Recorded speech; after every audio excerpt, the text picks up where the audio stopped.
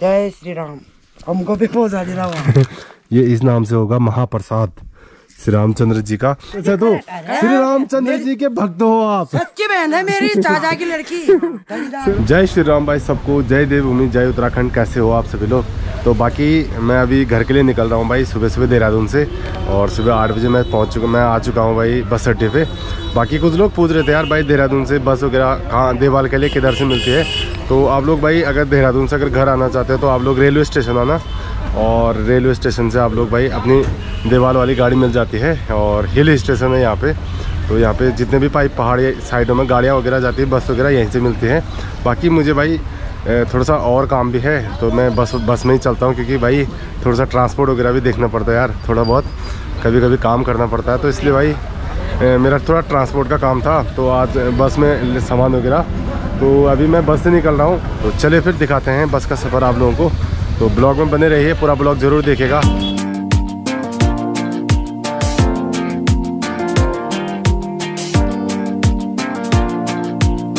अभी मैं भाई ऋषिकेश हिल पे पहुँच चुका हूँ, हिल स्टेशन पे। बाकी ये देखिए भाई, हमारी बस यहाँ पे लगी है और यहाँ पे चाय पानी वगैरह पीते हैं और बाकी नज़ारा देखिए भाई यहाँ से। क्या खतरनाक लग रहा भाई। जो ये वाला स्टेशन है हिल स्टेशन बहुत ही गजब जगह है भाई। ऊपर पहाड़ बने हुए हैं। कल या परसों शायद इन पहाड़ों पे बर्फ़ थी और आज तो शायद पिघल गई है, धूप निकल गई है। बाकी यहाँ से भाई क्या खतरनाक नज़ारा दिख रहा है ये। सामने बसें लगी हैं और इधर भाई रोड है और इधर हिल स्टेशन। गजब का नज़ारा है भाई यहाँ से। बाकी चाय पीते हैं, फिर बैठते हैं बस में, चलते हैं अपने गाँव की तरफ़। तो चलिए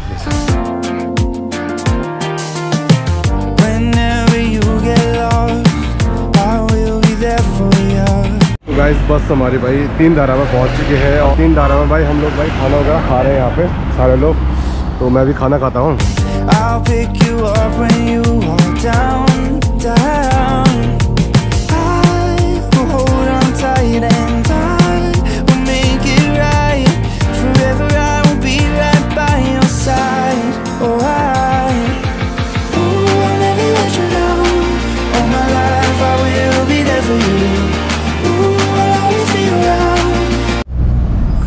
पूरी बस और हालत ज़्यादा ख़राब हो गई यार ज़्यादा सफ़र में भाई ज़्यादा Need someone to carry you. If you're looking for someone to 2,000 years later. जय श्री राम दोस्तों तो अभी मैं दूसरे दिन ये ब्लॉग को शूट कर रहा हूँ क्योंकि भाई आते समय भाई कैमरे की बैटरी वगैरह भी ख़त्म हो गई थी बाकी मेरा काम थोड़ा सा देवाल में था उस दिन मतलब कल को बाकी कल मैं उसके बाद घर में आ चुका था और घर में आके मैं अपना ब्लॉग शूट कर रहा हूँ दूसरे दिन। बाकी घर में आकर के थोड़ा सा डांट पड़ी ज़्यादा नहीं पड़ी थोड़ा सा। बाकी यहाँ पे मम्मी है ये देखिए। Hello mummy. जय श्री राम दोस्तों। अच्छा। राम मंदिर गया था ना तू? अच्छा। बोल रही हो ना अच्छा। तो मम्मी ने मम्मी ने मेरे को बहुत गाली दी। बहुत मतलब मम्मी ने मेरे को उस दिन डांटा था यार फ़ोन पे। बाकी मम्मी से पूछते भाई मम्मी क्यों डांटता मेरे को? तुझे बोला कि मैं दीवार जा रहा हूँ। ठीक। घर में पता नहीं चेन है। क्या होता है क्या नहीं होता है। कहाँ जा रहा है? राम मंदिर गया ना तो? क्योंकि भगवान के मंदिर में कभी भी दरवाज़ा खुला रहती है सबके लिए। अच्छा। ना तो तेरे को मैं घर आने नहीं देती। तो ये बोला भाई मम्मी जी ने उस दिन भाई मैं देवाल से भाई एक्चुअली में क्या हुआ था? देवाल गया था मैं कुछ काम के लिए और फिर हम फिर मेरे को अचानक प्लान बन गया था उस दिन शाम को। तो मैं सीधे दिल्ली चले गया था मतलब सुबह दूसरे दिन। तो मैंने दिल्ली जा करके ही मम्मी को फ़ोन किया था उस दिन। तो मम्मी ने उस दिन तो थोड़ा बहुत डांट पड़ी थी बाकी राम मंदिर के लिए मम्मी ने भी मना नहीं किया। और मेरे को भी पता था भाई राम मंदिर के लिए मम्मी भी मना मैंने तो बताया था तेरे को उसी दिल्ली जाके तो राम मंदिर चले जाए पहुँच गया तो। मम्मी ने भी बोला था भाई आप चले गए तो गया तो उधर से राम मंदिर होके भी आ जा। बाकी मैं उधर से राम मंदिर गया था और बहुत अच्छा लगा भाई इस बार का टूर भाई बहुत ही अच्छा रहा। और श्री राम मंदिर जी के दर्शन हो गए और बहुत कम लोगों को भाई ऐसे दर्शन होते हैं। बाकी आप लोग भी एक बार ज़रूर जाइएगा राम मंदिर। बाकी मम्मी मम्मी कब जाओगे अगले साल। देखेंगे फिर प्रोग्राम बनाएँगे। बाकी मम्मी भी मेरी जाने वाली है श्री राम मंदिर के दर्शन करने। बाकी मम्मी जी के लिए भी मैं प्रसादी लेके आ रखा हूँ। बाकी अभी दिखाते हैं मम्मी जी को। ये है भाई इसको मिक्स करना है। जहाँ ये है श्री रामचंद्र जी की प्रसादी। जय श्री राम? हमको भी पहुँचा देना हमको भी पहुँचा देना श्री रामचंद्र जी के मंदिर दरबार में। इसको खोलना तो। ये खोली था अरे, ये अंदर की प्रसादी है ना। तो गाइस ये हमको अंदर से मिलती है। मतलब मेन जो मंदिर से जैसी आप लोग दर्शन वगैरह करके आते हैं, उसके मतलब आते समय आप लोगों को ये वाला मिलेगा। ये इस नाम से होगा महाप्रसाद, श्री रामचंद्र जी का। और ये लिखा होगा श्री बालाजी महाराज क्या लिखा है? घाटा मेहंदीपुर ट्रस्ट। तो ये जो ये बालाजी महाराज जी हैं, इन्होंने भाई ये भाई उधर के पुजारी हैं। तो ये वहाँ से प्रसाद वगैरह बांटते हैं। इसमें इस प्रकार से दिया होगा, मैं आप लोगों को दिखाना चाहता हूँ। ये इसमें भाई लड्डू और ये प्रसाद अलग अलग तरीके से दिए हैं। वो खोल मत। बाकी अभी तो इसको पंजाब में अच्छा बाकी मम्मी गाँव गाँव में देना है? हाँ बैठा हो कितना पूरी गाँव तो इतना कहाँ पहुँचेगा फिर? दो के जी और मंगाएँगे ना। अच्छा बाकी थोड़ा सा लड्डू हम लोग इसमें एक दो के जी मीटिंग होती है या फिर गाँव के बैठक होगी। उसमें थोड़ा सा लड्डू लड्डू वगैरह मिला करके लड्डू ला करके उसमें थोड़ा सा ये मिला तो मेरे देंगे पड़ोस के पड़ोसी के लिए। ही नहीं होगा। हाँ, इसको भी पड़ोसी के लिए मिक्स कर देना ना इसमें। बाकी ये मैं बाकी एक चीज़ की खुशी आ रही है मेरे को। हम्म। बाकी मम्मी के लिए क्या घड़ी लाया था मैं? ये देखो मम्मी फिटिंग करो ये देखा मोबाइल तो है ही मेरे पास मगर मेरे मुझे घड़ी की ज़रूरत थी। अच्छा मम्मी के लिए घड़ी लाया था मैं। शोरूम से लाया था भाई मम्मी शोरूम पे ला रखा था शोरूम से देखो। ये वाली घड़ी लाया था मैं मम्मी के लिए ये।